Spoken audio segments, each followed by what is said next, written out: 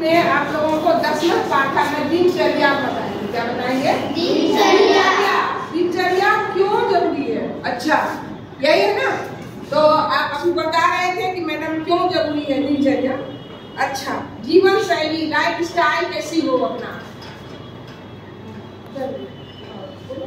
जीवन को अच्छी तरह चलाने और स्वस्थ रखने के लिए दिनचर्या हाँ जीवन को अच्छी तरह से चलाने और स्वस्थ रखने के लिए दिनचर्या का बहुत महत्व है। ना? यानी आपकी जो लाइफ स्टाइल है जीवन जीने की जो कला है वो अच्छी होनी चाहिए। समझ रहे हैं ना? तो इसके लिए क्या शुरुआत में आप क्या करिएगा? सवेरे से लेकर शाम तक बोलिए तो। सवेरे कब जगना है? सात बजे जग जाना है हाँ। और और सुबह सुबह देखो ये बता रही लेकिन नहीं सूर्योदय से पहले है। सूर्योदय से पहले सभी राखी पर के सभी। सूर्योदय से पहले जगते हैं। और फिर शाम में हमको सोना का है। बहुत लेट रात नहीं सोना है।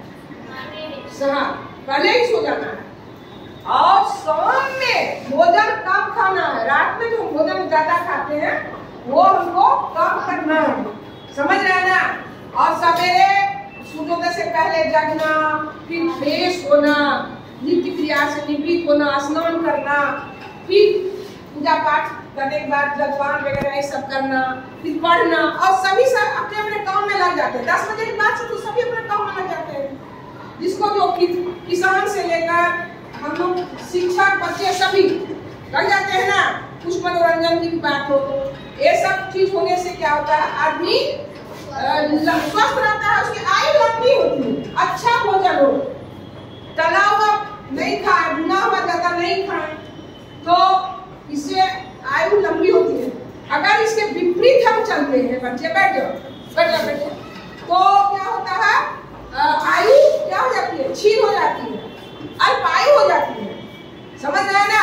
अगर हम नियम से चलेंगे तो हमारी होगी? लंबी लंबी होगी। इसीलिए अच्छा आहार हो और अच्छा विहार। हो। आहार भी भोजन भी अच्छा हो और घूमना फिरना उठना जगना बैठना वो भी अच्छा हो। ऐसा होना चाहिए। होना चाहिए ना बच्चे? ये नहीं कि लेट उठ रहे हैं फिर मस्तिष्क की बीमारी होगी सूर्योदय के बाद उठिएगा तो। पानी कम पी रहे हैं इसके लिए भी और बीमार पड़िएगा। है ना? आराम की भी आवश्यकता होती है। दोपहर में हम थोड़ा आराम भी कर लें। ऐसे भी होता है। प्रातः काल हम टहले भी, व्यायाम भी करें, योग करें, ध्यान करें। ये सभी हमारे दिनचर्या का हिस्सा हो। उसको हम अपने जीवन में शामिल करें। तो ऐसा करते हैं?